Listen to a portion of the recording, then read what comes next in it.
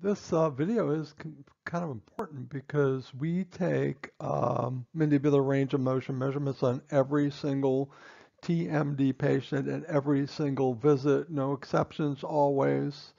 Sometimes some, you know, the assistants will come up and say, do we take measurements today? And I say, yes, of course. We, whenever we have a TMD patient, we take mandibular range of motion measurements. Please understand that's how we keep track of our success of you know in treating patients.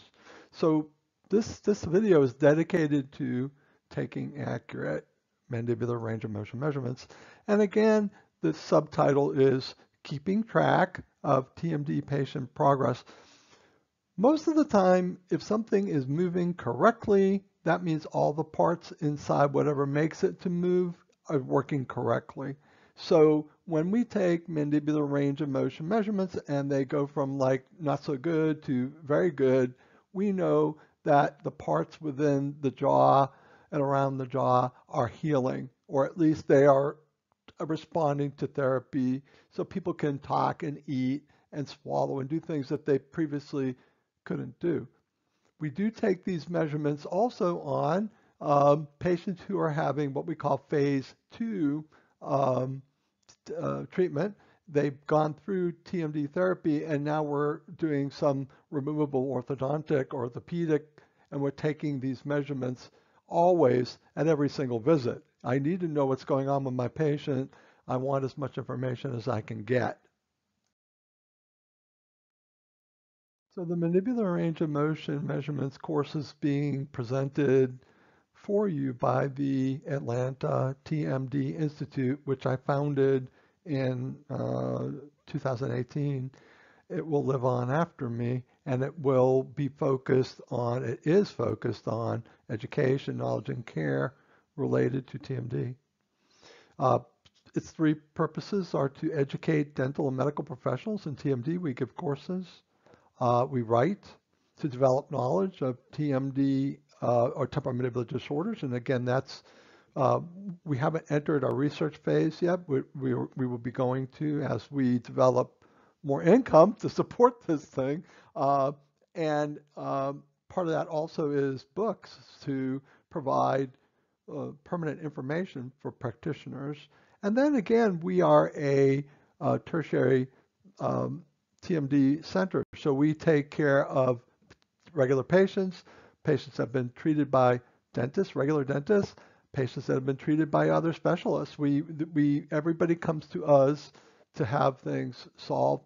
We take a very broad, holistic, uh, or integrative uh, medicine type of viewpoint of TMD, and we try to treat everything. We don't, we're not just plumbers or electricians putting dental appliances in or splints in. We take care of the body and the mind and try to take care of everything related to this disease. I like to be as simple as possible so that you have a full, complete understanding of everything, even all the terms. So inter means between, and we use the example of international, which means between two nations. So international travel, when you get on an airplane, can be from the United States to England let's say. Uh, you're going from one nation, the United States, to another nation, England, international, or it could be United States and Mexico, which is United States, one nation, Mexico, another nation. Inter means between. I'm going to give you a just a very quick education on the uh, front teeth, anterior teeth. We're going to talk about incisal, which means something to cut to incise something is to cut it. So you use scissors to cut something. So the word incisal means the biting edge, the very edge of the scissors of a front anterior tooth. Got it? And so we're, this measurement, the first measurement that we're going to be looking at is called the interincisal measurement. And we'll look at this in just a minute. But we have the upper arch called the maxillary arch because it's in a bone called the maxilla. We have the lower arch, the mandibular arch, because it's in a bone called the mandible. Central means the center of things. So you have the upper arch, central incisor. These are the incisor teeth that are flat and cut like scissors. You have the right central incisor and the left central incisor. On the bottom, we have the right central incisor and left central incisor. So we've got the maxillary right central, maxillary left central, upper arch, mandibular right central, and the uh, mandibular left central. Then we have the lateral incisors. We have two of them, one on the right, one on the left on the maxilla, and we have two of them on the bottom. Um, and when, when we are measuring the opening of the bite, we're only concerned about the central incisors. Got it? So we're going to take a measurement from the maxillary central incisor to the mandibular central incisor. You could choose right in the middle if they're even. In this case, the bottom one is not. Uh, but you're, you're measuring from the edge of the upper central incisor to the edge of the lower central incisor. It's, this, is, this is what we're talking about.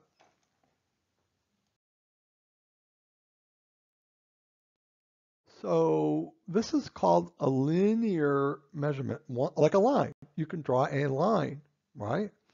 And if you look at the edge of this Miltex dental ruler, it starts with zero and goes all the way to 65. I've never seen anybody open 65. I've seen people open 55. Um, but are, there are millimeter measurements on this ruler. And it's uh, it's a, brand that I really like. Miltex is a, is a company that manufactures dental products. And this is a Miltex dental endodontic, meaning for root canals, because you're measuring root canal files a lot. So it's a Miltex dental endodontic millimeter ruler. It's stainless steel, so it can be uh, cleaned and sterilized and used patient after patient after the patient. You always have a Miltex dental endodontic millimeter ruler in the operatory for all TMD patients. You should put them in the, it should be in the, uh, on the bracket table, open in front of the patient. It's there every single time. This is your basic tool, very easy tool to take uh, me me measurements of the mandibular movement.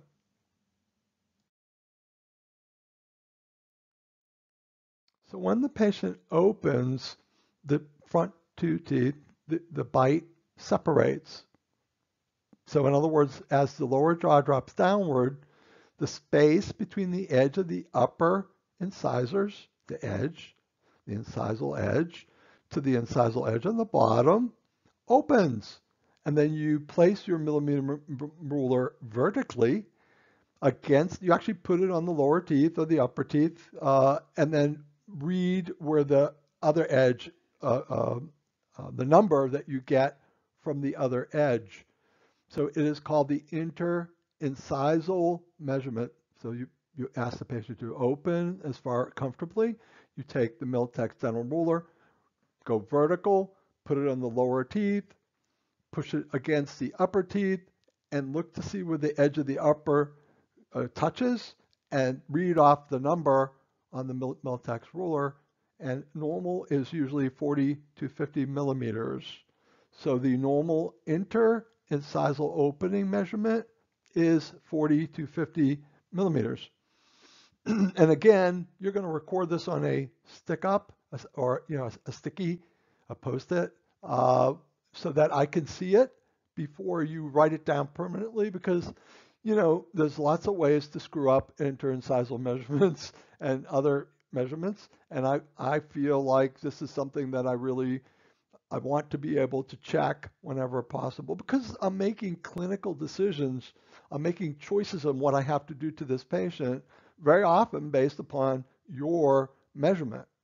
So the first, one of the most important measurements is the interincisal opening measurement. And this is how far the patient opens their mouth. And you have to be able to bite into a Big Mac and so you need at least 40 to 50 millimeters to get your mouth open enough to get onto a Big Mac.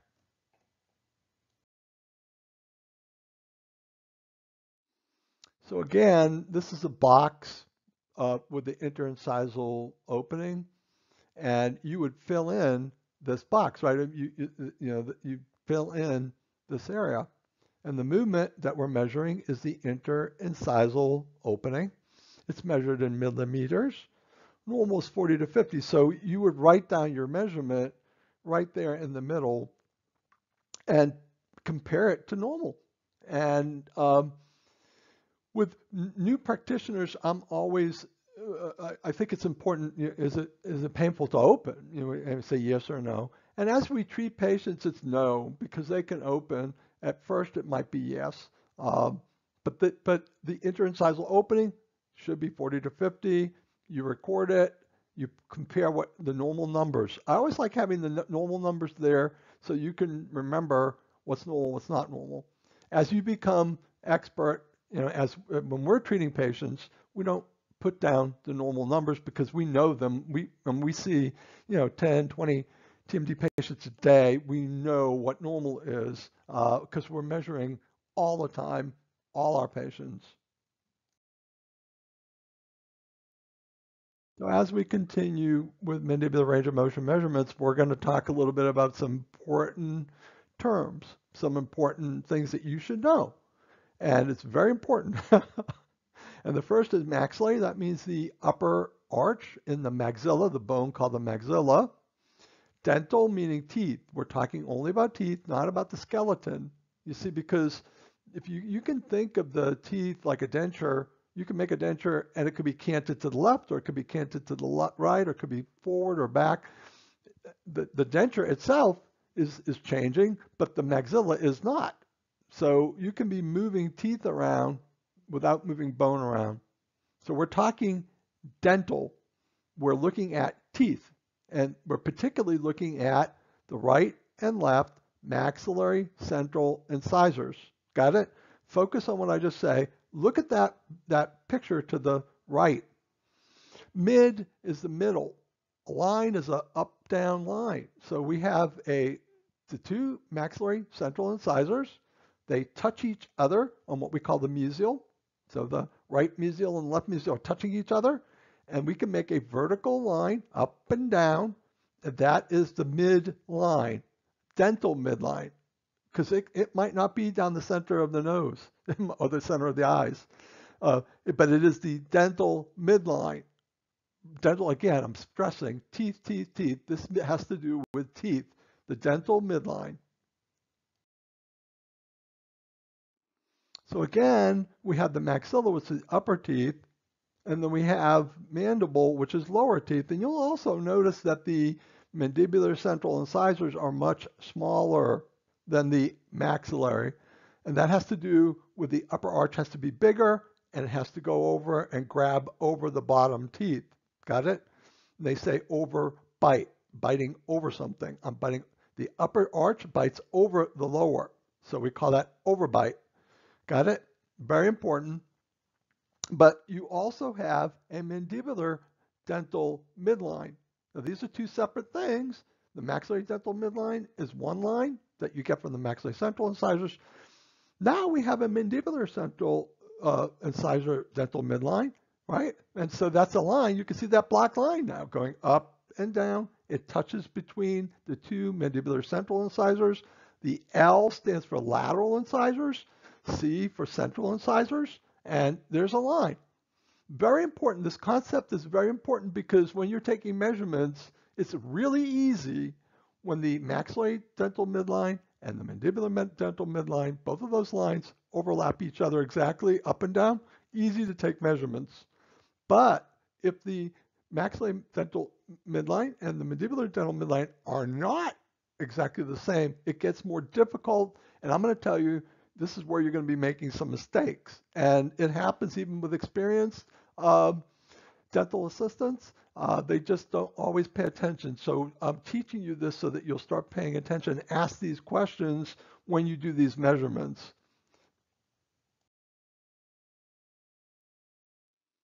So I'm, I'm stressing that you have to compare the midlines of the upper and the lower before you do any measurements so you won't make any errors. You'll see this in a little bit. In this particular case, the two central incisors of the maxilla, the two maxillary central incisors midline, and the mandibular central incisors midline, they match. It's one line because they're both right over each other. You can't see two lines because they're right on top of each other. They're matched.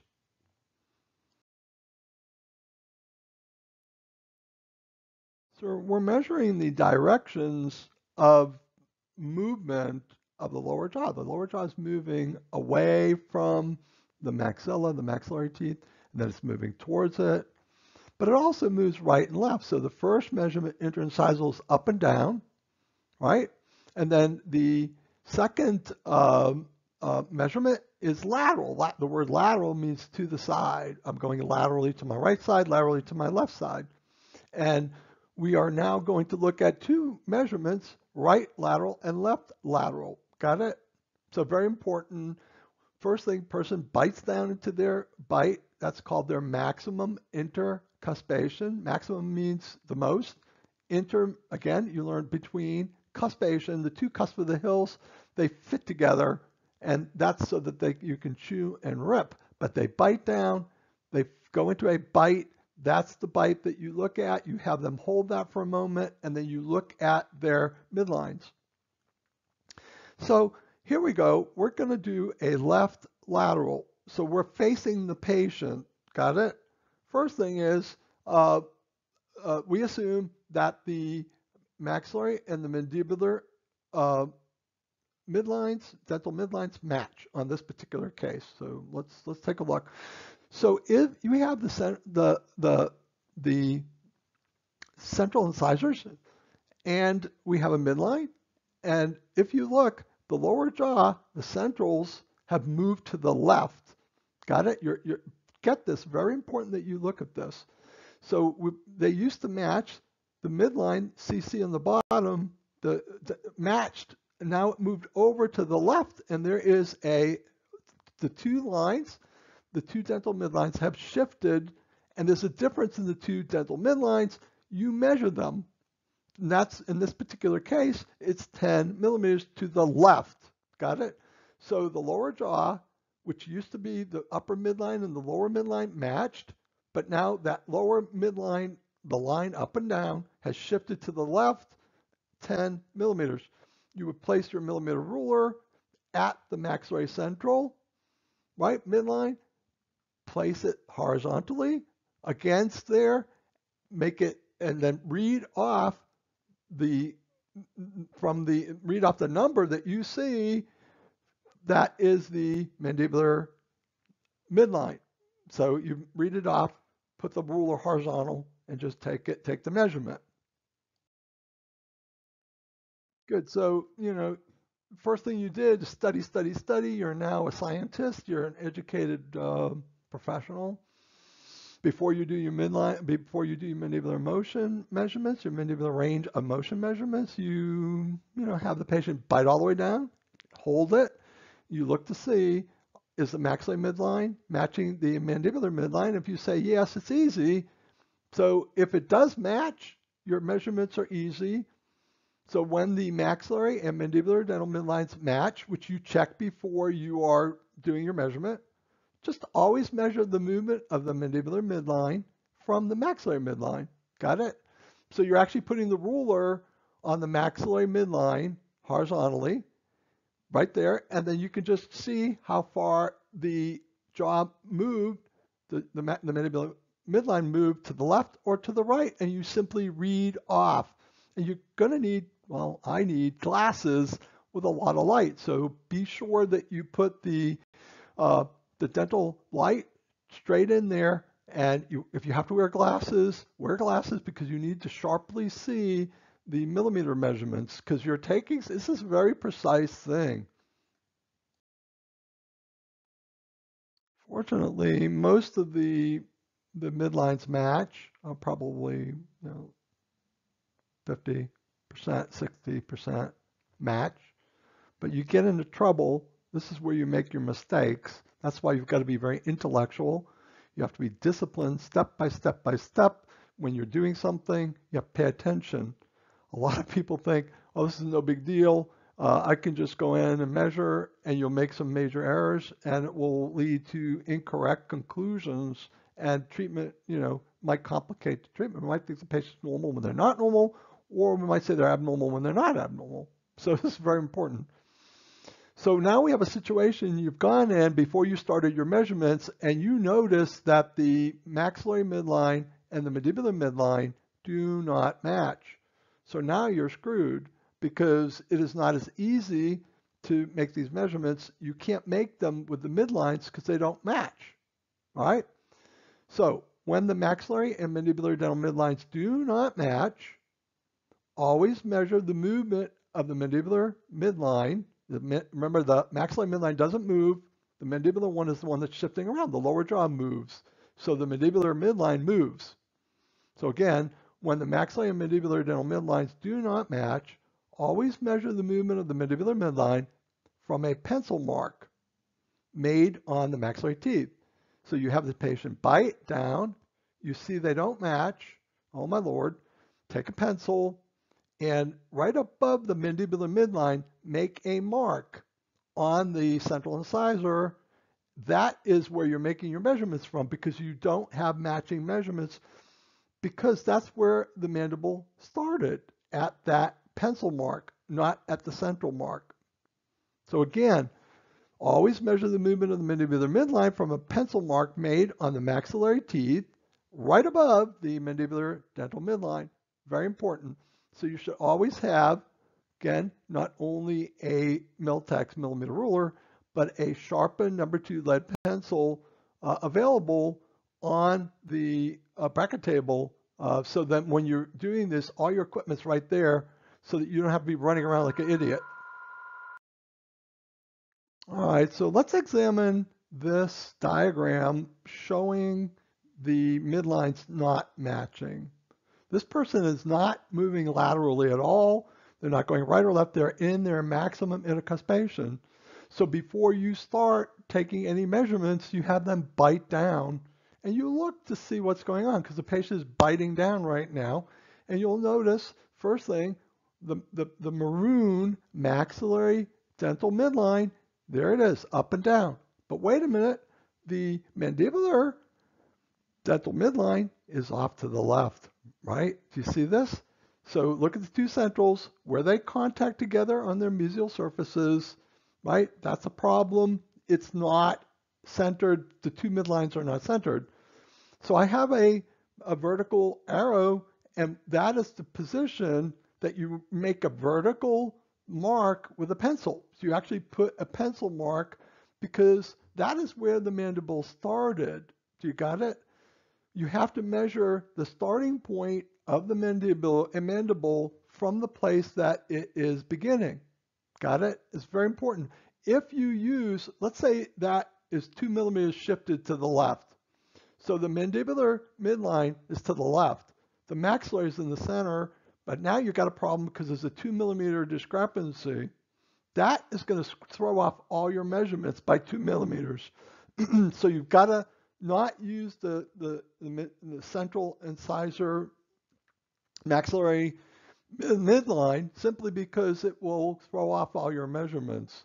So you put a pencil mark on the upper maxillary left central here, vertical, and that's where you measure from. You put your ruler to that. You don't put your ruler in the central incisor midline in the maxillary because it, that they don't match. All right, in this illustration, I am showing a purple vertical line, which is the mandibular lower jaw midline, dental midline. Got it? And this illustrates I'm trying to really press into your head these two midlines.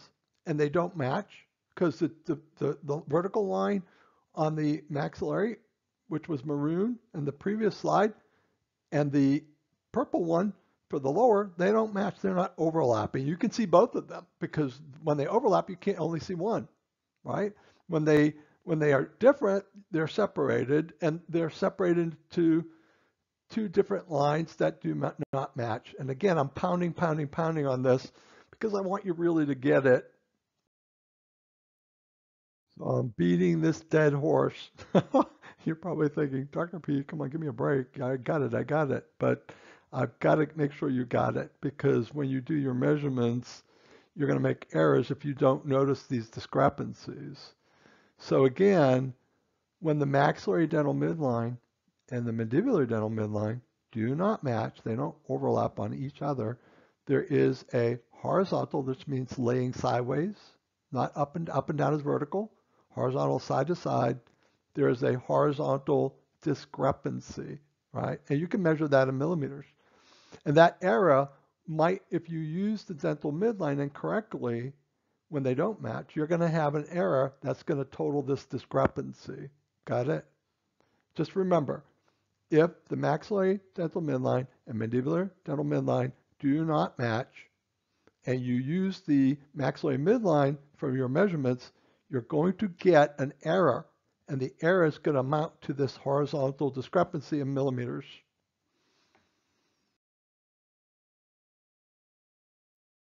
So again, you know, the midlines do not match. This is the diagram showing it. Whenever the midlines don't match, automatically use a pencil. You see I have a vertical line saying pencil mark. Put a pencil mark on the upper left incisor or the upper right if it's shifted to the right, but put a pencil mark above the mandibular midline onto the upper teeth, and that's where you measure from. Uh, enough said maybe we'll get into this a little later about the errors, how you'll understand it. But it, I just want you to be a good technician and just say, okay, do the med dental midlines match? Yes, I'm using the central incisor midline, maxillary central incisor midline for my measurements, my starting point. Starting point. I put the ruler on there to start.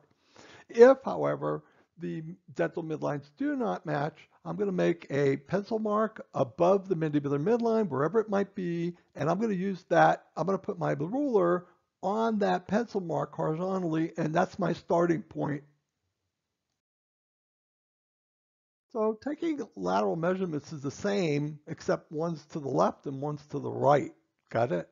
This is very important, and we'll get into later why we do right and left, because it tells us something about the joints. It tells us about the muscles. And we're going to go over that in a little bit as I get more involved in, in teaching you how the jaw joint works. So again, we have a box here, a table. We got movement. We do the right lateral movement in millimeters. We do the left lateral movement in millimeters. Guess what? It's millimeters. Why? We're using a millimeter rule. We're using the Miltex endodontic millimeter ruler. What is normal? You should always, when you're taking a measurement, you say, is this normal? Is this not normal? Normal is 8 to 10 millimeters. Normal is 8 to 10 millimeters. We want that. That's what our goal is when we set out. Most TMD patients do not have 8 to 10 millimeters to start. Seriously, sometimes 4, sometimes 5 or 6, but they can't move left or right. Sometimes they can move better to one side than the other side, and this means something, and we'll get into that. And then when you're first starting out, if you're not a specialty practice and you know we want you to set, see if there's pain on these movements. So it, does that hurt to move to the right? Yes. Pain. Does that hurt to move to the left? Yes. Pain. X. So uh, so you, you you you record this also. So in our can you know our measurement in the mandible movement it moves downward and upward that's up and down. That's the vertical axis. It moves left and right, right? That's like a, a rotation. You're rotating to the left, rotating to the right, left and right. And now we're going to do the pro means forward, intrusive means movement, push forward, the forward back movement. Got it? And this is a little more complicated. Let's think about this uh, a minute. We're going to look at this diagram because the diagram is going to give you a lot of understanding. This is the side view. You can't see this because the teeth are all touching each other. You can't see it, but you should be able to, in your mind, envision it and put it in your head. And this is one reason why when the dental admission tests um, are given, they have a 3D section where people have to be able to look in their head and twist things around and see things because dentists have to have 3D. But this is the upper central incisor and it's angled normally. There's like a 140 degree angle between the lower and the upper, but the lower central incisor is touching up on the back inside of the maxillary central incisor. Do you see this? So the point that it touches, it's not at the incisal edges. Remember we talked about moving incisal edges? So the incisal edge of the lower central incisor is inside the maxillary central. They're not the same point. So if you look at the line A, there's a dot, whereas, and there's a dot to the right, there's two dots. In order for the incisal edges to match, the lower jaw has to slide forward a couple millimeters, and as it slides forward, the, uh, the edges begin to match. But it takes a millimeter or two of forward movement of the lower incisor for the millimeters edges, for the edges to match.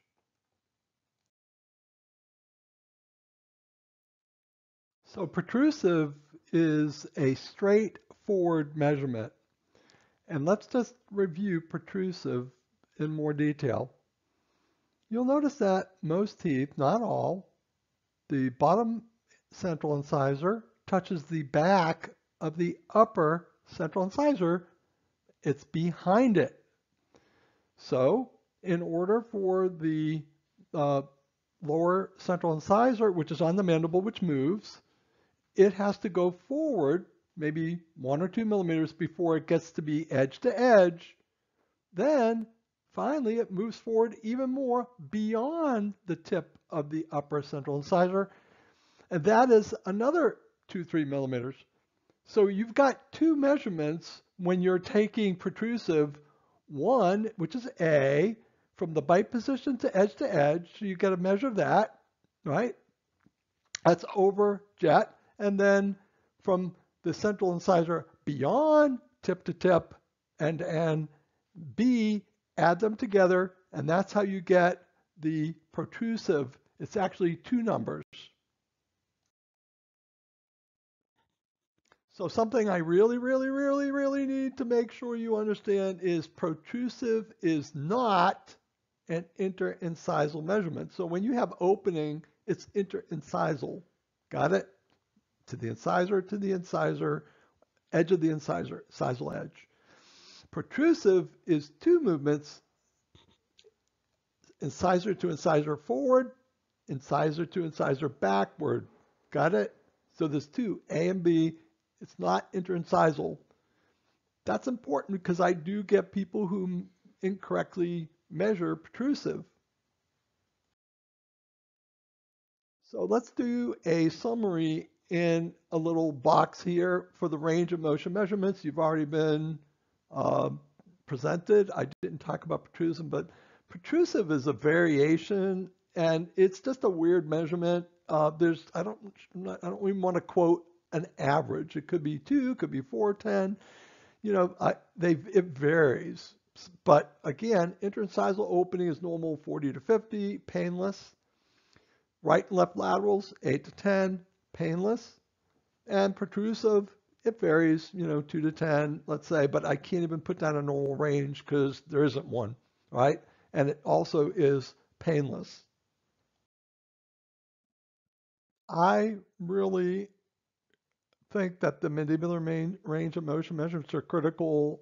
I check them every single time a TMD patient comes in. I think it's critical and it's put on the TMD patient self-evaluation form, but we you the assistant does not do not write this directly. You use a post-it, right? Or a, a, a yellow sticky if it's a generic so you take one of these yellow stickies off and you put it on the top right side and you put, you know, LL, left lateral, 8, RL, right lateral, you know, 9, uh, O for maximum opening, 48. Whatever you put them on there, I check them. I think it's that critical because I, I actually use um, I use these measurements to see progress. And what's very interesting, and I will tell you right now, since we're talking about mandibular range of motion, the mandibular range of motion will improve sometimes tremendously before the patient starts feeling better. So listen, so they are able to move well rather quickly, but then they haven't healed. The muscles have not recovered, the ligaments have not recovered, and it takes a little time for them to get better. And this is very important. And I know when I see improved mandibular range of motion and the patient's complaining that they're still hurting, I know they're going to get better. And I can reassure them, you're going to be fine. You're starting to move wonderfully. You went from not being able to move your jaw to a wonderful range of motion. You know, now that it's moving fine, it's going to start healing and it will take a little time. And sometimes I'll recommend heat therapy. They'll put heat and then they'll increasing the range of motion. We have a couple of handouts on this to increase their range of motion. Uh, you know, have, I want them to exercise their jaw. I want to, you know, if you exercise, you feel better, right? So I want heat on there to increase the blood flow to the structures, particularly the muscles. But put it on the post-it because I do check these every single time before the patient comes in, uh, before I see the patient. So again, please understand, every time the patient comes in, they do a TMD patient self-evaluation form. I measure this every single time. This has been one of the big things that I've added into my practice because I like to see, it, those measurements tend to tell me if things are going well.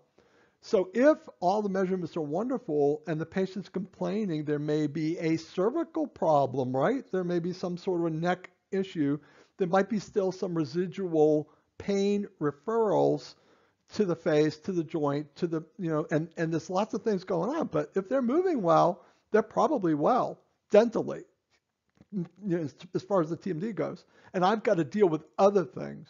I have to deal with nighttime problems, you know, sleep problems, other things. So, uh, you know, I've got to look at all of this information, but I base a lot of decisions upon these measurements. I measure progress, and I also know do I have to run in there and use my brain to figure out what's going on with this patient?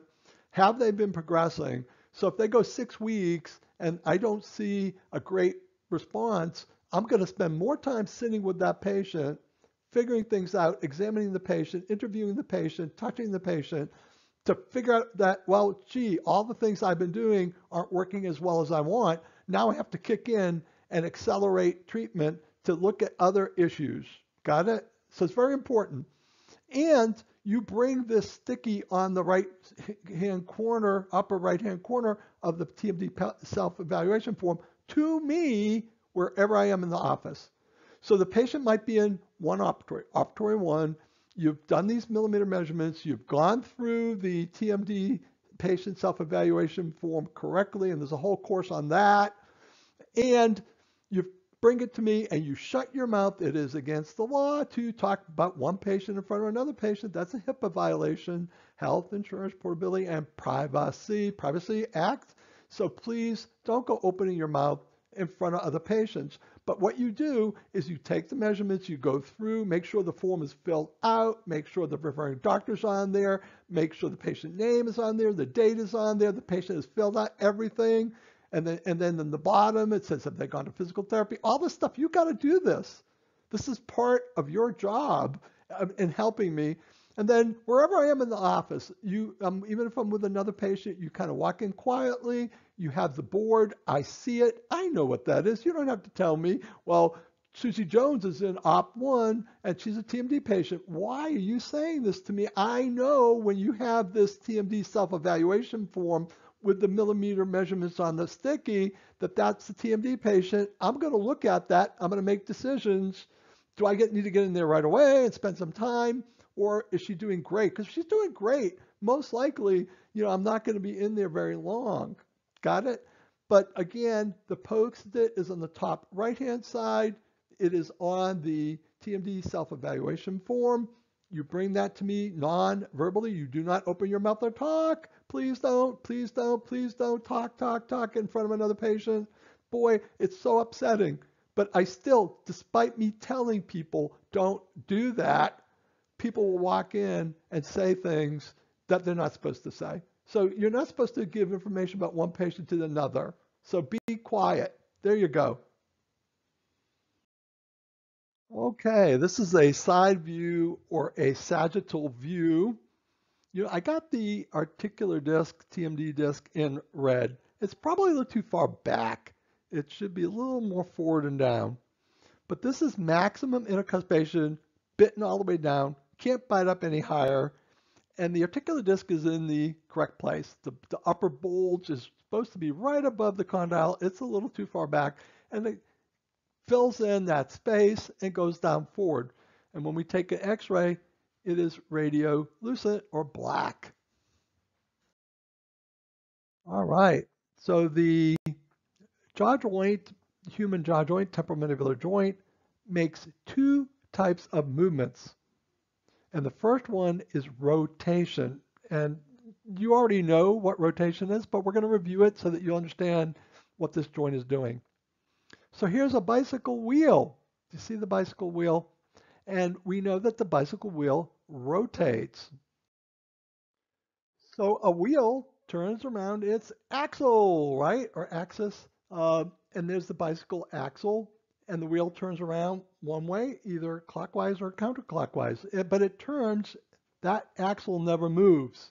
It stays in place. The, the bike, so if you pick the bike up off the ground, spin the wheel, the wheel will turn, turn, turn, but bike won't move because the wheel itself is spinning on the axle without moving. And that's how the temporomandibular joint acts for the first 25 millimeters or so. When it's opening, it just spins open in a circle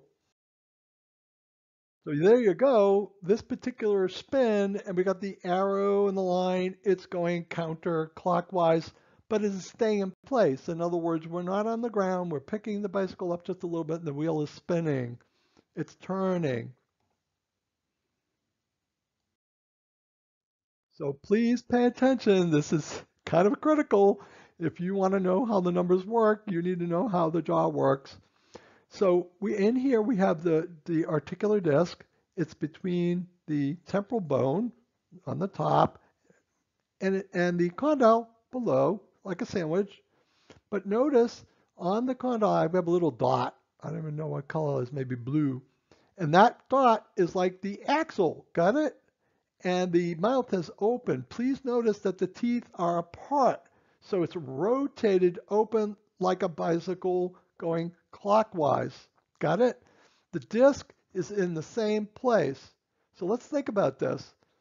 So the bone of the condyle is rotating and sliding on the disc, but the disc is in the same place. The disc does not move, so the disc is touching the temporal, the top part of the mandibular fossa. That's the dome. It's sitting there. It's not moving, and the, the jaw, the condyle, is turning, rubbing, turning on the bottom part of the disc, but the disc itself is not moving, right? Again, I'm repeating this over and over and over again. The disc is not moving, but the jaw is opening into an, an axle. All right, so let's take a look at this rotation. Please, there's a dot on the condyle. It's blue or green. And that is where it rotates. It rotates as the, so the jaw's opening, see the arrows going down?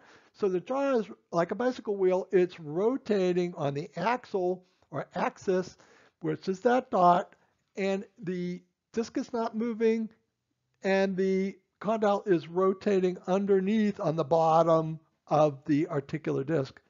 So again, it's rotation opening, the articular disc is in the correct place and it stays in that place. It doesn't move. There is no articular disc movement at all. It stays right there. And the lower jaw and the condyle, it's like rotating against the disc. So what is rotation when you think about it? It's just like a door. It's like there are four hinges on these two doors. I mean, it's one big door, but two panels. Two. It's actually two doors, right? Two handles, four hinges. The hinge rotates. So got it? So the door is like the, the jaw. And as the door rotates on the hinges, It's just like the mandible does. It's rotating down and back. So when we're evaluating the interincisal opening or maximum opening, we're thinking about what is happening inside the joint as we open. And rotation, as I said, is the first part of the opening. Patients rotate, then they, they do another thing we'll talk about, translate. A second thing happens after rotation. But patients usually rotate their mandible, right? Their mandibles open to about 25 millimeters. Kind of memorize that. So if someone comes in and they're opening 40, you know that they're rotating and they're translating. But if they're under 25, there's a problem. You know, they're they're not translating, they're just rotating. And even if someone has joint damage, they can almost always rotate 25 millimeters open. And and we'll go over what all that means, and I'll get I'll get you more familiar with what's happening and how to diagnose certain things uh, based upon looking at measurements. So you take a maximum opening, interincisal opening, it's only 15, it's just rotating. It goes up to 25, it's just rotating. It goes 25 to 40, wait a minute, something else is going on. We're going to talk about that. That's translation. Now, there are other reasons that mandibles don't open, muscle spasm and shortening, but I want you to be thinking about these numbers. So in your head, you're thinking, what is happening inside the joint? Is this a joint problem or is this a muscle problem? And we're going to kind of go over these things. So there is a little bit of a problem going on here. Here we have a young lady, and if she opens her mouth, rotation, she's going to rotate about 90 degrees. Guess what happens? She's in her neck and she's going to die because that, that will squeeze her. So God doesn't allow for pure rotation because if you rotated solely, you would go into your neck and you'd have some problems. Every time you eat, you choke yourself. Got it? So you usually you're not going to rotate into your neck. Well, not usually you don't. So at about 25 millimeters rotation, the jaw starts going forward, not just rotating, but sliding forward in order to avoid hitting the neck with your chin or your lower jaw. So I'm going to introduce a new term here, and I mentioned it before. I hate introducing terms without defining them and telling you what they are, but now we're back, going backward and defining what it is. So after rotating about 25 millimeters, the mandible starts to get close to the neck, and that's a problem, isn't it? The mandible then moves forward or slides forward away from the neck to avoid accidentally pushing on the front of the neck. The sliding forward motion is not rotation. It is bodily movement like a truck moving forward a few feet. This movement is called translation. Got it? So you have rotation for the first 25 millimeters, and from 25 to 40 to 50, you have translation, and that's a bodily movement. And we're going to look at that in the diagram now. All right. So here we have, it's not rotation. Remember you saw the, the circular lines at the center or the axle or axis? Now the condyle has slid forward out of place. It's taken the articular disc with it if it's normal, right? The articular disc will come forward. The articular disc stays on top of the condyle like a football helmet on a football player. It slides forward or a baseball cap. Uh, and the whole jaw is sliding forward. Got it? So the where where is it going? See where the arrow is? The translation is down and forward. The condyle and the articular disc both move down and forward together. We call that sometimes tethered. In other words, that disc is on the condyle like a helmet. It's tied in with, with ropes called ligaments, and the ligaments are made of collagen, and they're kind of like clotheslines. They are not supposed to be stretched. When they're stretched, the clothesline is no good anymore, Uh, but this is another issue. But right now we're looking at a normal joint. A normal joint translates forward, brings the articular disc with it, and um, this is considered normal. And it translates to avoid the neck. So, you know, we looked at the barn door rotation or the, the, the rotation of the, the double door we looked at earlier, the red door. This is not the same thing. This is more sliding back and forth, much like this shower door. It slides back and forth, or many houses will have back doors out to the backyard that are sliding doors. They don't open and rotate, they slide.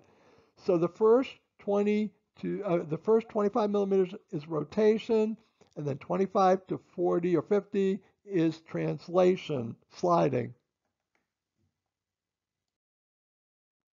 So again, I'm repeating this over and over and over again because I want you to get it. I want you to be a pro. I want you to understand everything that's going on. So after only rotating, in other words, just rotation, sole rotation, after only rotating up to 25 millimeters, the mandible starts translating down and forward from the 25 millimeter opening. It opens even wider now to 40, but from 25 to 40, it is translating. Got it? Very important. This is, we're simplifying a lot of this. It's more complicated. If you think of it this way, you're going to understand much of what's going on when you look at your measurements. So again, we're beating a dead horse. The interincisal opening measurement, which is the opening where you put the Big Mac in the mouth, the interincisal measurement will be 25 millimeters or less when the patient is only rotating. And they cannot translate because if they could translate, they would open wider than 25. Got it?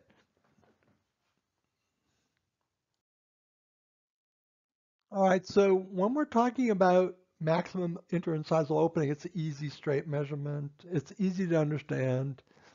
But lateral movements are a little more complicated to understand what's happening because two different things are happening in the two different joints when you move lateral. Got it? Let's think about it.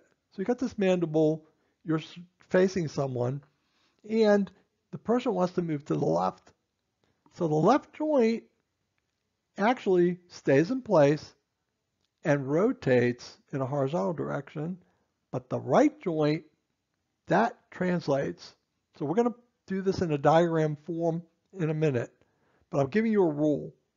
In order for the mandible to move laterally, let's say to the left, the opposing temporal joint, the right joint, must be able to translate correctly. It has to be on the surface of the wheel. As the wheel rotates, it rotates on its axle. If I'm moving to the left, the left joint is the axle because the right joint is moving on the wheel. But the movement on the edge of the wheel is not a rotation, it's a translation, it's moving forward. Uh, we're going to do this in a diagram in a minute, but I'm going to repeat this over and over again, and hopefully you'll get it. In order for the mandible to move laterally, the opposing temporomandibular joint must be able to translate correctly in the direction of the lateral movement, which is the opposite. Got it? So if the right joint is translating, it's moving to the left. If the left joint is translating, it's moving to the right. And I'm going to show it to you in a simple diagram so that you can understand it. So on the right hand side, you have all the teeth in the front of the mandible. You got the body of the mandible. And as you go to the very end, right side, we're looking down now. This is the lower arch. That right condyle, you see it? And then the left condyle on the real uh, lower jaw. But I'm going to use a diagram instead, so it'd be easier to look at the diagram rather than the mandible. So I've driven, I drew a ball for the left condyle another ball for the right condyle, and then I get this arch, which represents the lower jaw. And there's a little up and down line at the dental midline, the mandibular dental midline. And we're going to use this diagram to explain translation and rotation. All right, so we're going to learn about the left lateral movement. Remember, we're measuring that. It's 8 to 10 is normal. Let's look at that left movement. We'll first start with the left, uh, left condyle. That's the axle. It's kind of like rotation, like your wheel. It is not going forward. It is not translating. It's kind of pivoting like an axle. The right condyle, wait a minute, the original position is no longer, it's moved forward from its original uh, position. So it's moved forward, we know it's translating. Now something very fine to understand, this is if you really know what you're doing, that condyle is translating forward and away from the translation joint, the original joint.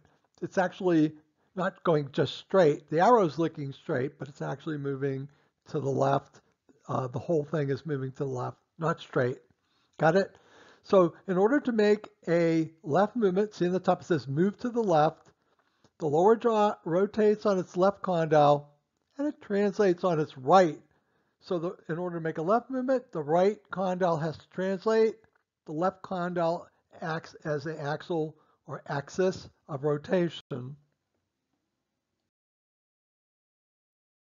So to summarize this, the right mandibular condyle must translate down, forward, and to the left when you make a left mandibular movement or a left lateral. And you're taking that 8 to 10 millimeter measurement. We hope 8 to 10, that's normal. All right, so to summarize, the left mandibular condyle translates to the right when you make a right mandibular movement. And that's the opposite arrangement. We're making a left mandibular movement, the right mandibular condyle translate. Hopefully, a lot of times what I'll do is I'll take my fist, put it in front of my ear on the right side, take my fist, put it on the left in front of my ear, and then I'll move my right uh, fist forward and to the left, bring it back, left fist to the right, bring it back, kind of, I can feel my, I can move my jaw too if I want to. It can be kind of fun yeah, we we have to have fun in life, don't we? So I'm going to introduce another term. Some dentists say that the translating mandibular condyle, which is the opposite one, is orbiting, orbit, orbiting, like each of the planets, including the Earth, orbit around the sun. You can see the blue planet there. It's third from the outside. That's our planet, guys. This is what the condyle is doing on the opposing side. It is orbiting because it's not quite translating forward. It's translating in and forward, kind of like same way a planet orbits around the sun. So I, you know, I think that you should spend a little time thinking about what do these measurements mean? How did they, how do we get to that eight millimeter lateral? What, what's going on in the person's mouth? You need to know that because if it's abnormal, you're going to start thinking, what is the problem with the patient right now? So you can make decisions. You know, is it a joint problem? Is it a muscular problem? And that, that the, these measurements point to, to one or the other right now. There are other ways to see other problems that we'll be using, but we're concentrating today on mandibular range of motion measurements. What do they mean? And we're going to look at how the joint works so that you can see um, why these normal measurements come about, how they come about. So it's going to be making a bunch of statements and you just have to memorize them and then later you'll break out how they come about.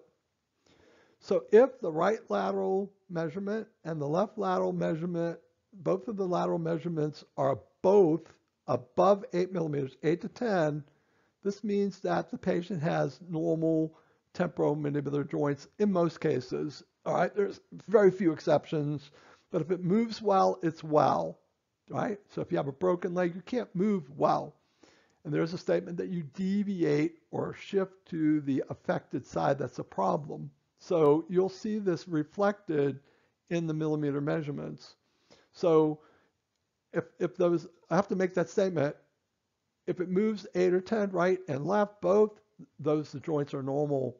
So if there's a problem opening, for example, that means that's probably not the joint that's causing it. It's probably muscles. There's probably muscle problems, tightness, hasn't uh, relaxed yet for whatever reason. There's lots of reasons, including sleep problems, nighttime bruxism, uh, and other parafunctional habits. Para means outside of, like chewing on pencils, right, or tongue thrusting. Other things that we need to look at because these are critical. These are these are really critical, and we have to look into. Whoa, the measurements are normal, the joints are normal, but the patient's in pain. Something else is going on, kids. So we'll take a look at that. So one of the most common things that we do see is a combination of measurements that reflect a certain problem. Well, let's look at it. So if the interincisal opening is limited, so what would limited be? Normal interincisal is what? You should memorize that 40 to 50. So the person comes in with a 32 opening. You have to say, well, is that because of damage in the joint, right? Or is that a muscle problem? Because if you're muscle bound, you cannot stretch, right? When, when muscle bound, when you're muscle bound, you cannot stretch. So if the patient's been grinding, grinding, grinding, and the muscles are so tight that they can't relax, the patient can't open, right? But the joints might be normal. So if the interincisal opening is limited, under 40, and the right lateral and the left lateral measurements are normal, 8 to 10, this patient probably has an elevator muscle tightness or elevator muscle tightness Rarely is it just one. So the masseter and the medial pterygoid, they're matched. The masseter is on the outside of the jaw, the medial pterygoid is on the inside of the jaw. They are both facing each other and they both work together to jam upward and chew. So when the masseter and medial pterygoid, the masseter is the beaver muscle for chewing, chewing, chewing.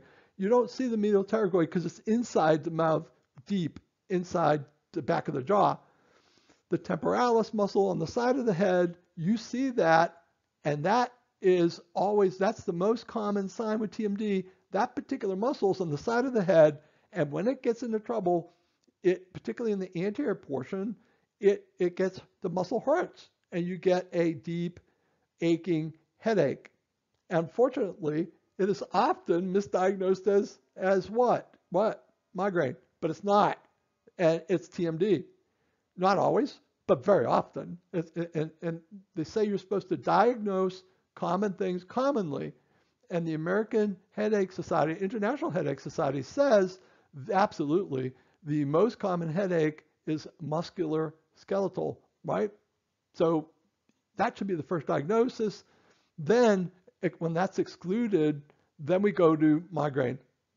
But if the interstitial open is 8 to 10, right and left, I mean, uh, is limited, and the, and the right and left laterals are normal, probably this person has elevator muscle tightness. They're grinding on their teeth, and the muscle, the grinding is hyper exercising, like lifting weights, and they're becoming muscle bound, and they can't open their jaw because the muscles won't relax. All right, so now we're looking not just measuring the interincisal opening, we're watching the lower jaw and does it open straight up and down? See? Does it open straight up and down? See the arrow? The line is like vertical and it goes straight down. So let's make a statement. Now that you know about rotation and translation, when they first open 25 millimeters, they're rotating. It should be straight up and down line. And then as they open from 25 to 40, they're all they're translating and they're going up and down straight on both sides.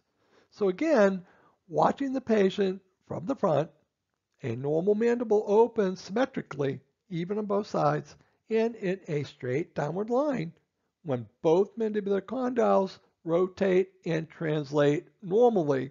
Got it?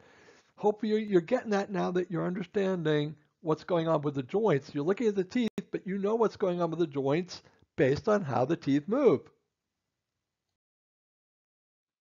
So I'm introducing a new term, and the term is called deflection. And deflection, deflection is when one condyle cannot translate at all. And as a result, the movement of the jaw is a straight line to the side of the damaged condyle. In medicine, we say you deviate to the affected side. You deviate to the affected side, but here the term is deflection. And as the person opens, it goes in a straight line all the way to the side of the damaged condyle. So the opposite side is rotating and translating normally, but the damaged side is just rotating, and you get this straight line when they open. So the maxillary and mandibular dental midlines used to match, but this patient is opening and they have a left side deviation, got it? Which means their left condyle is only rotating and not translating, got it? But the right condyle is, but this person's just trying to open their mouth. They're not trying to move to the left. When they open them up, they move to the left. They're not trying to make a left. They have to make a left. Got it? And this is called deflection to the left. It's a straight line to the left that does not come back to the middle. Got it? Very important. All right, so this is the same thing, except the right condyle is damaged. It can rotate, but it cannot translate.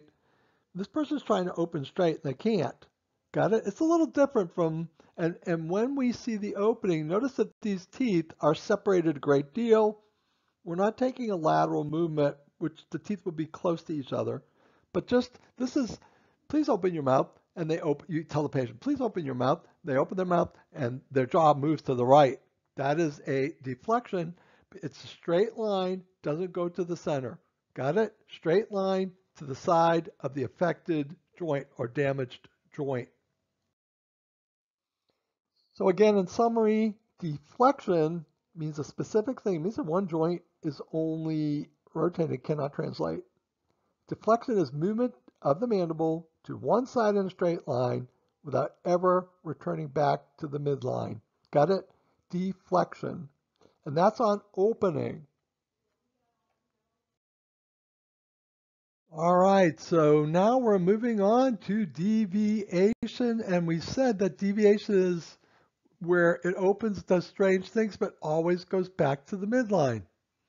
So we looked at this pathway, it's starting to deflect to the right side, but wait a minute, it's not a straight line, is it? Deflection is a straight line. This is not a straight line. So it starts to deflect to the right side, and all of a sudden something happens, it returns. All right, let's go over this the right joint cannot translate at first. So it's stuck.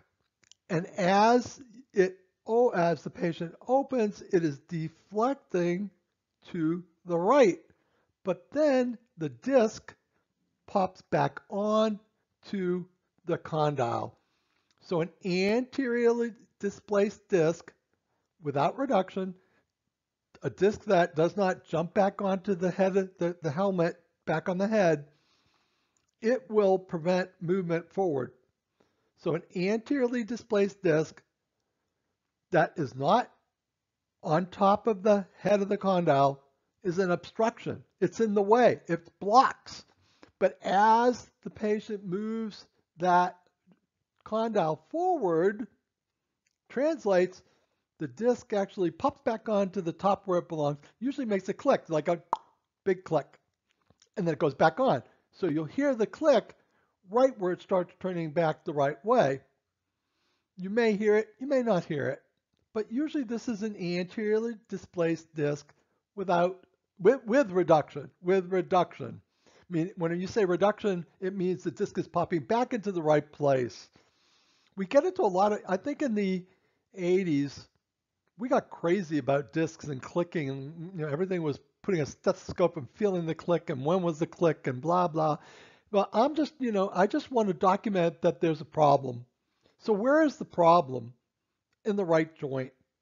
What's the problem? It doesn't translate well.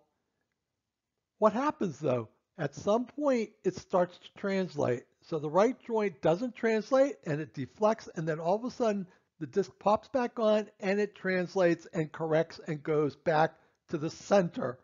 Got it? So here is the opposite problem.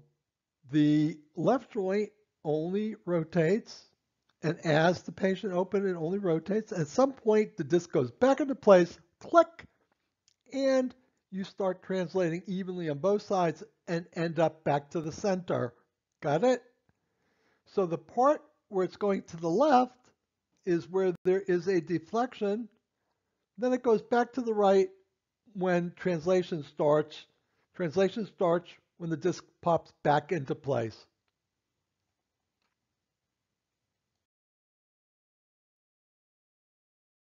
So in TMD, the word reduction is used to mean that the articular disc, which goes between the mandibular fossa, the dome, and the condyle, goes back into its correct position, had to be not in the correct position previously, means that the articular disc goes back into its correct position on top of the mandibular condyle, and the that condyle can now translate.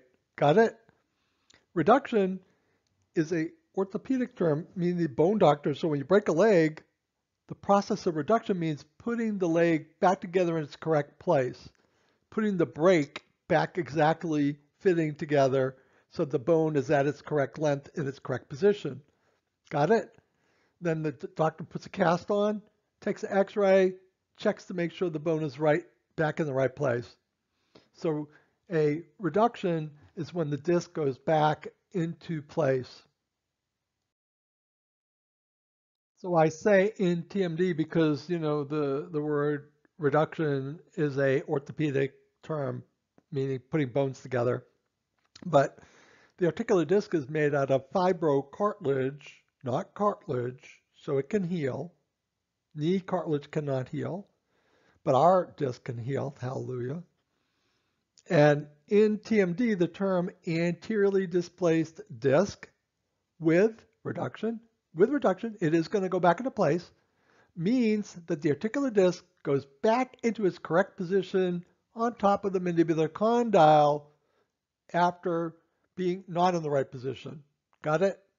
And when it's not in the right position, you get deflection. When it's in the correct position, you get a opening to the midline. So now you've graduated a little bit, you kind of know what's going on. So I want you to look at this crazy devi deviation. It's not a deflection. Deflection is to one side with a straight line that does not return to the center. This is a crazy double, uh, double like movement, double deflection with correction, but all at the end ending up back in the midline. So let's kind of figure out what's going on. So as the person first opened, they deflect to the right. That means the right joint is anteriorly displaced without reduction. Then all of a sudden, the disc pops back into place and it returns back to normal, but it kind of starts normal, but it keeps on, now it starts deflecting to the opposite side. Wait a minute, the left joint now, the left joint, the disc pops back into place and it straightens out. And you're going to hear two clicks on this if you're thinking about clicks. Not that I care about clicks as much anymore because our treatment, regardless, when you put the joint back into the correct place, three-dimensionally, these things often heal. About 75% will heal. And uh, it doesn't make the disc perfect back to when you're 18 years old, but the healing within the disc is enough to cause correct motion of the jaw. In other words, they'll have this, we'll treat them, we look back at them in six months, they're opening straight. Oh, Lord Almighty. Why are they opening straight? Didn't they have a problem with their discs? Yeah, but it's healed within there. You might say, does the disc pop back into place? Yes and no. The, the, it, the healing inside the joint allows the joint to function because the movement of the jaw is forming that disc back again. And it, it doesn't matter what it does. Some people call it a pseudo disc. Pseudo means false. Like you have the amoeba, have pseudopodia, false legs. But uh, all we know is it heals and we're happy. Patient's out of pain, patient can open. But this is a double dislocation with a double reduction. Got it? it's kind of interesting. I hope you got that. Uh, you got enough in your head, you should be able to understand it. All right. And TMD, and again, I say TMD because you, you hear me say this in orthopedics. You talk to an orthopedic surgeon, he's going to think you're crazy because you're talking about bones. And But anyhow, reduction has to do with bones normally, but in TMD, the term anteriorly displaced without reduction, without not coming back, means that the articular disc does not go back into the correct position on top of the mandibular condyle. What does this mean? You have a deflection with no returning to the middle. Got it? But you can have a anterior displaced disc with reduction, and at the point it reduces, it starts going back to normal movement. Got it? Very important. So here is a not uncommon clinical situation which demands immediate treatment. And this is called an acute, which means sudden, closed, they can't open, they're closed, they can't open. Acute, closed, locked, they're locked, they can't open, it's locked, unable to open the door acute closed lock is when the patient cannot open their, their, their jaw. And this means almost always that there's damage in one or both of the joints. Typically, there's damage of the articular disc. It no longer has the correct shape. It's tore up and it is displaced. So you typically have an anterior displaced disc without reduction. It slips forward. What I worry about is when the disc slips forward, it could fold up like a sandwich on itself, like a pita. And if it is not reduced back into place, that folding up on itself could cause fusion and permanently, basically permanently screw up the shape of that disc. So anteriorly displaced discs must be treated immediately to avoid the disc going forward, slipping and curling up on itself. Also, there's ligamental damage. We know the ligaments hold the disc in place, and those ligaments have been stretched and stretched and stretched, and they don't return back to their original shortened length. So they can't hold the disc in place anymore. The disc can slip around more than it normally would and as the person struggles and forces their jaw one side to the other, trying to open, they start ripping these ligaments. And so you want to treat this as soon as possible. You're not going to believe this. I had a patient come in the other day who hadn't been treated for three months. She's been locked, sucking through a straw, eating smoothies and oatmeal and eggs, and she couldn't eat. And I was like, why did you wait so long? So the longer you wait, the more chances damage, right? And then you may need later arthroscopy, which is when you're putting little tubes into that joint by an oral surgeon and cleaning out that joint, and that's minimal surgery. But let me tell you, treat the acute, acute closed lock immediately. Either do it yourself, refer to me, please. This is a critical issue. This is where I see a lot of problems that can occur. It's also quite distressing for patients. They, you know, they can't open and they're like, what is happening to me? I'm out of control in my body. But what is this? Uh, usually it, it's one or both of the joints has an anterior displaced disc without reduction. And then because the joint is being pinched, the joint is being irritated, the masseter muscles or elevator muscles clamp up to prevent movement because every time you move, you damage, you hurt the disc, you hurt the joint. So the, the body does not want movement when a, a disc anterior displaces. That means that the condyle is going back and crushing, destroying the back part of the joint, the tender, soft tissues. So you will lock up. So now that you're a pro and you kind of know what's going on in the joints, I'm going to present the situation, a scenario to you, and I want you to think. So here you've got a patient coming in and they can't open, right? Like if a closed lock patient can move 8 to 10 millimeters to the right, right lateral, 8 to 10 millimeters to the left, left lateral, that means that both temporal mandibular joints are normal there is not a displaced disc, right? Very important. However, patient's right in front of you and they can't open. So if the patient cannot open, it's because there is muscle shortening. We used to say spasm, but they don't, spasm means shaking. It's not spasm, it's muscle tightness. Got it? Uh, we, or you could say trismus. Uh, that's a good word, muscle trismus. And um, so if a patient cannot open, when you can move right and left 8 to 10, it's because there's muscle shortening and the muscles, not the joints, are preventing this opening. Got it?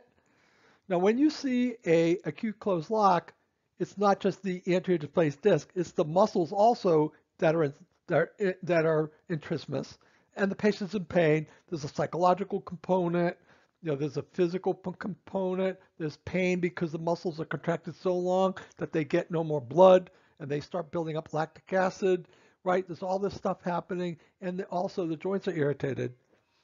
But again, you have to say, is this a acute closed lock that's due to anterior displaced disc, anterior displaced disc? Well, if uh, yes, if it if if they can't move right and left properly, yeah. But if they can, no, this is muscles. So I'm throwing this one in. This is really not related to measurements because sometimes we get something called an acute sudden open lock. So the person's jacked open and they cannot close. They can't close. They're sitting there moving around. They're trying to close. They can't close. Got it? That's called an acute open lock. What is that? That's not a disc problem. Listen, listen. It's an anterior displaced mandibular condyle. The whole bone of the condyle is out of the socket. It goes forward out of the socket. Got it? You've probably seen people that can take their arm and move over to the left, go out of their socket, right? So an acute open lock is an anteriorly displaced mandibular condyle, right? And the condyle is out of the socket, is come forward out of the front of the socket and come up and it won't go back. It's so interesting. And there, I do have a manual on how to reduce, get that term again, reduced and open lock. In other words, get the condyle back into the mandibular fossa. Mandibular fossa, a fossa is like a dome, uh, the dome of the mandible. And the condyle goes back into that dome, that bony dome, and that is called reducing the anterior open lock or uh, acute open lock. The, again, as I said, I have an instructor manual on dealing with this and also dealing with, with acute closed locks and how to deal with that. Simple manual. Um, you want to read it. It'd be good, right? All right. Thank you. Well, in conclusion, I want to thank you for watching the video. Please, you know, look at it again. Get a ruler, start measuring your fellow staff, measure the uh, patients, think, think, think about what's going on inside those joints. There's a lot more to this. This is, believe it or not, you know, 75% of everything you need to know. There are other special situations uh, that we do see uh, but I'm giving you the most common situations, the most common interpretations of unusual jaw movements and measurements. But the Atlanta TMD is my lifelong passion. it, it is where I want to end up. I'm currently going to be 68. I would like to pass this information on. That is my real strong desire. And I need your help because I want you to learn about TMD. I want you to be passionate or at least let other people know about it. Support the, the Institute by sending patients. We want you to treat the patients. And if you want to learn, we'll teach you. But you don't want to send them to us. That allows us to pay the bills and do what we're wanting to do, which is also doing research in such areas as tardive dyskinesia and other areas where there's really unusual speech problems, stuttering. We've treated patients like this successfully. And there's also medical dental references for these things. We just need to make this knowledge everywhere. And again, uh, thank you. And again, the, the Institute educates people, which is what we're doing with you right now, developing knowledge, the books that we're writing, and uh, video. And we're there also to take care of patients that you're not comfortable with uh, or to help you treat them. So thanks again. I'm very appreciative to you for supporting the Institute. Please start taking measurements. Teach your assistants to do it. Teach the hygienist to do it. Anybody, and then start thinking about what's happening inside the joints. Thank you.